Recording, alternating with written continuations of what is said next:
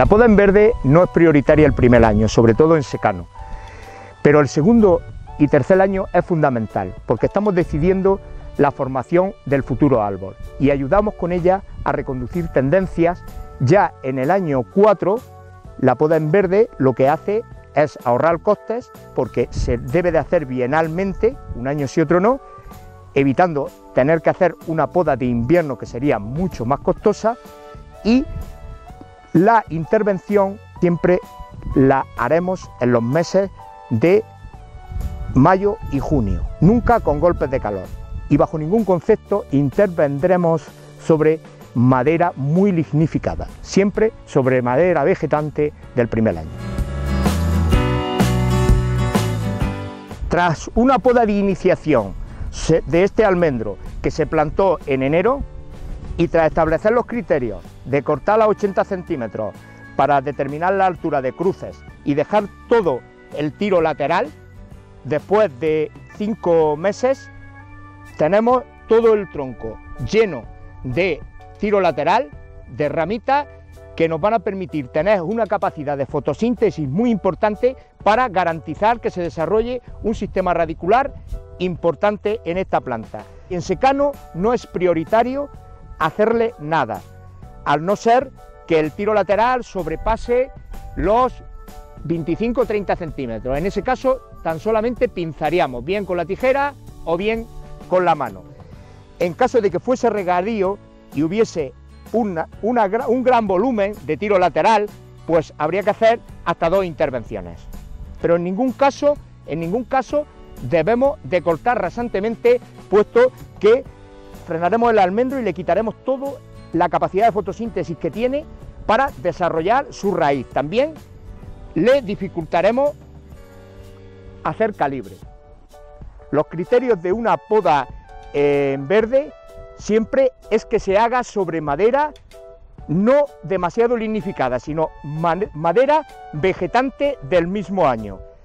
Y la medida que hay que tomar para saber si estamos en el momento adecuado es que sin tijera, en la zona apical, podemos, podamos cortar con la mano, con la propia mano. Nunca tocaríamos las ramas de arriba que van a ser las futuras guías del almendro.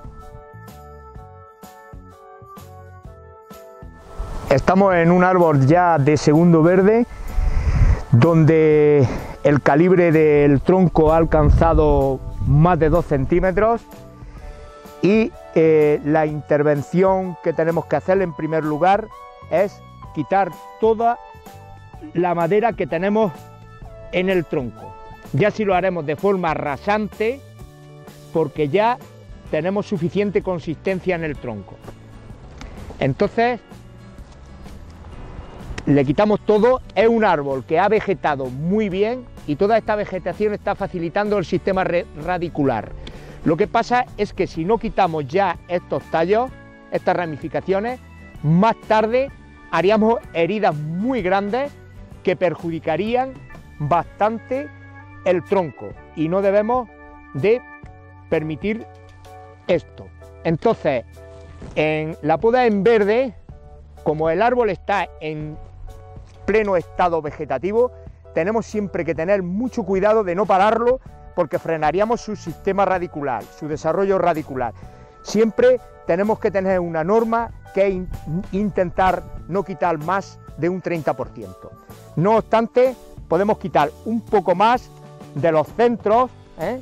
y despinzar la zona superior para evitar vela al viento hemos abierto y hemos quitado la parte superior. No tocaríamos más nada porque en la poda en verde nunca se establecen criterios, sino que lo que se viene a hacer es reconducir tendencias erróneas que el árbol tiene frente a los criterios que ya establecimos en invierno cortando a 30 centímetros.